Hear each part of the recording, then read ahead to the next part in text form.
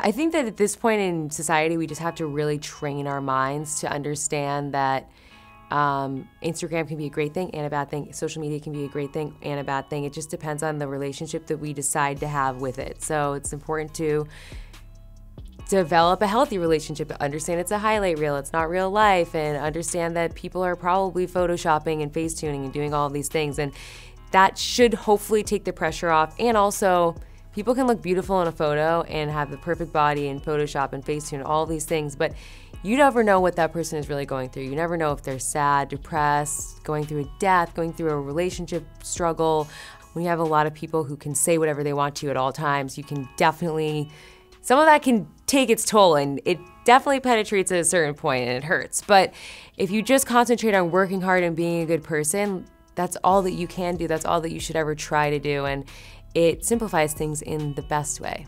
I think that taking a social detox is always a good idea and just really listening to your body and figuring out what you align with. Like when something doesn't feel right and it feels bad, there's definitely a reason for that. And you have to listen to that. To be honest, I don't feel like the pressures of Miss Universe and social media are the same. I think I think it was just because I was so young and I had never even been a part of this world before. I was kind of just I was so new to it that I didn't take it very seriously, I guess. But I think that um, now, inevitably, social media is just huge. It's taking over everything. I think when I was Miss Universe, I don't even think I had an Instagram. So um, I didn't really feel a similar type of pressure, but um, now it's totally different.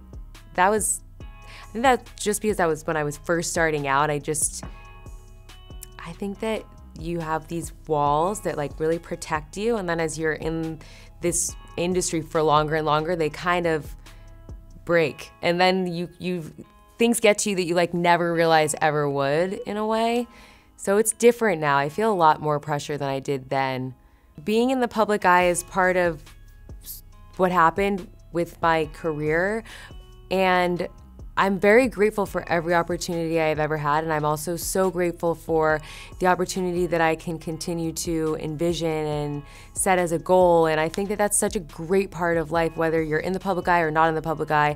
And I, I really do love the part of my job that allows me to connect with so many people and hopefully inspire them in certain ways. And um, that's that's definitely my one of my favorite parts of my job. So I think there can be pressure that comes with that, but I, I definitely am grateful. I think that that's the only attitude that that you should have. Otherwise, you should get a new job.